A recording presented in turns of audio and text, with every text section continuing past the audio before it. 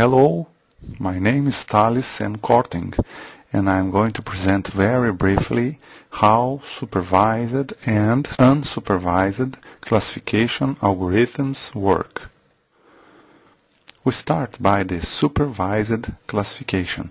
When we talk about pattern recognition, we always think that we have a set of instances which can be represented by all these black points here. And all these instances are represented by certain features. And when we display features on the screen we eventually we combine the two of them because it's easier to show in the screen. So we have here an example of the feature which I call X and the feature Y. And combining these two features we get what we call the, this feature space. When we apply a supervised classification algorithm on that, we aim to get these points here and discover to which pattern all these points belong.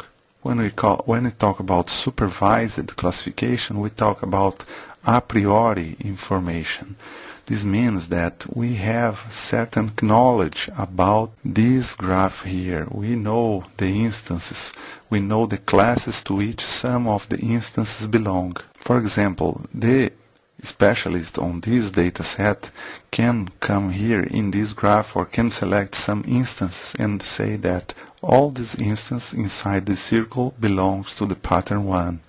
All the instance inside this other circle belongs to pattern 2 and also all these instances that are inside this other circle belongs to pattern 3 that's a proceeding that the user do before starting the algorithm. So we call this the training step. When we do this we create this graph here which is all the instances that we have that remains unclassified plus the instances that we selected as training sets.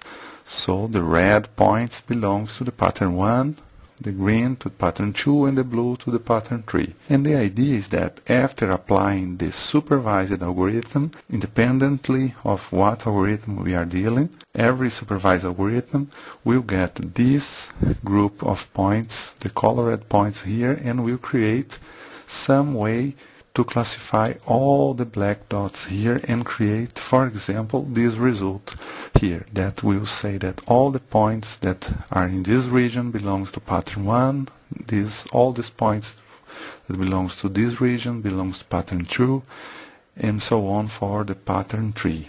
We provide a priori information, we provide a training set, and the algorithm can discover the classes for all the data. Some examples of supervised algorithms include decision trees, random forests, k-nearest neighbors, support vector machines, and neural networks. Then we move to the second type of classification algorithms, which is the unsupervised classification algorithms. The main idea of these algorithms is that the a priori information is unavailable. So we don't have that a priori information. So the user only knows the set of data and these features here that belongs to the instance that we have. But the user doesn't know anything else about this data and want to apply some uh, strategy that will try to find groups of points in this feature space here. And to find groups of points is a task that we use to call clustering. So the main idea is that these clustering algorithms will try to find some groups of points that are similar in this feature space. For example, it could say that these points are close to each other so they belong to a cluster. And also these other groups of points belongs to another cluster that is not similar to this one but is another cluster. And also this other group. But for example, we could also make some different inferences in this data and say, for example, that all these points here are similar because they are a continuous line, they, they seem to have a, a similar parameter. This is the question that remains for all the unsupervised algorithms how to define the similarity between feature vectors. Sometimes when we use unsupervised classification we have to provide this information, how many clusters that we expect to find in this group of data. Examples of these algorithms include k-means, self-organizing maps, expectation maximization, ISODATA, hierarchical clustering. This letter K stands for how many clusters that we expected to find. For example, is just one example. The main reference that I have used to create this presentation is the Pattern Recognition book 4th edition.